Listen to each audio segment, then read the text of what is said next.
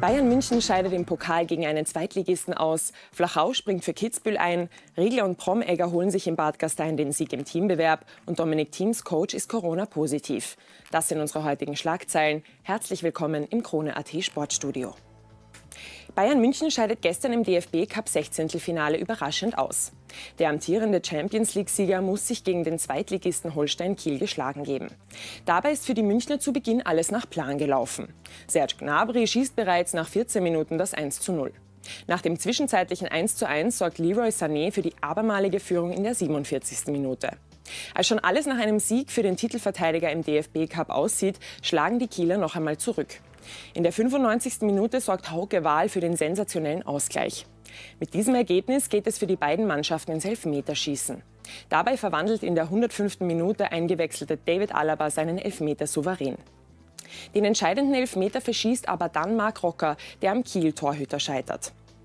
Damit kassieren die Bayern erstmals seit 17 Jahren im DFB-Pokal eine Niederlage gegen eine klassentiefere Mannschaft. In der englischen Premier League besiegt gestern Manchester City im Nachtragsspiel Brighton mit 1 zu 0. Die Tottenham Hotspurs müssen sich mit Startrainer José Mourinho gegen Fulham mit einem 1 zu 1 zufrieden geben. Eigentlich hätten in Kitzbühel die beiden Wengenrennen, die wegen dem Coronavirus abgesagt worden sind, ausgetragen werden sollen. Jetzt ist aber in Jochberg, unweit von Kitzbühel, die neue, aggressivere Virusmutation aus Großbritannien festgestellt worden. Die für das kommende Wochenende geplanten Slalombewerbe werden daher erneut verlegt. Der neue Austragungsort ist Flachau. Damit findet seit 2011 zum ersten Mal wieder ein Herrenrennen auf der Hermann-Mayer-Weltcup-Piste statt. Die Entscheidung ist unter anderem in Abstimmung mit Bundeskanzler Sebastian Kurz, Gesundheitsminister Rudolf Anschober und der Tiroler Landesregierung gefallen. In Kitzbühel sollen nun flächendeckende Tests durchgeführt werden, um die Hahnenkammrennen am darauffolgenden Wochenende zu gewährleisten. Andreas Promegger und Claudia Riegler haben gestern in Bad Gastein beim Weltcup-Teambewerb der Parallelsnowboarder gewonnen. Das österreichische Team setzt sich im Finale gegen die deutschen Stefan Baumeister und Cheyenne Loch durch. Claudia Riegler wurde nach einem Sturz am Dienstagabend beim Parallelslalom mit Verdacht auf eine Gehirnerschütterung ins Krankenhaus gebracht. Vor dem Bewerb musste die 47-Jährige noch ihre Freigabe abwarten, konnte dann aber glücklicherweise an den Start gehen. Unter diesen Umständen mit Claudia dieses Rennen zu gewinnen, macht uns beide auch ein wenig stolz, so Promegger nach dem Rennen.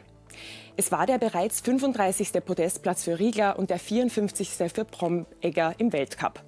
Gemeinsam haben sie nach Lackenhof 2018 ihren zweiten Sieg im Teambewerb gefeiert. Kurz vor dem Start der neuen Tennissaison gibt es schlechte Nachrichten für Dominik Thiem. Sein Trainer Nicolas Massou fällt für unbestimmte Zeit aus. Er hat sich mit dem Coronavirus infiziert.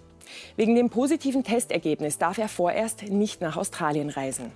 In der Zwischenzeit wird der Vater von Dominik Thiem den Weltranglisten Dritten und Dennis Novak betreuen. Dominik Thiem, Thiems Vater und Dennis Novak sind noch gestern Vormittag nach Adelaide geflogen. Dort verbringen sie jetzt ihre Corona-Quarantäne, bevor es am 29. Jänner weiter nach Melbourne geht, wo am 8. Februar die Australian Open starten. Das waren die wichtigsten Sportschlagzeilen des heutigen Tages. Ich wünsche Ihnen jetzt noch einen schönen Donnerstag und bis morgen im Krone.at Sportstudio. Boom, boom, boom,